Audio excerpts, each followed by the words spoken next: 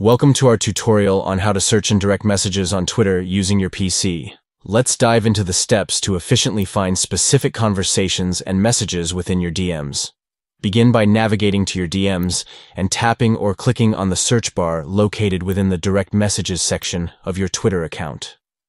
Once you've accessed the search bar, type in the keywords and names relevant to the conversations you're seeking.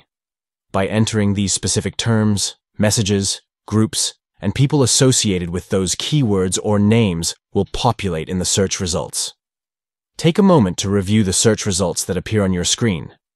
You'll see a list of messages, groups, and individuals that match the keywords you entered. To access a particular message directly, simply tap or click on the search result that corresponds to the conversation you wish to view.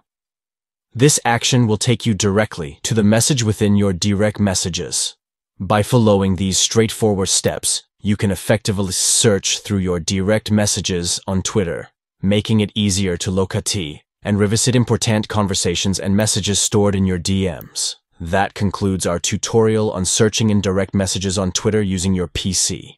Thank you for watching, and stay tuned for more helpful tips and guides.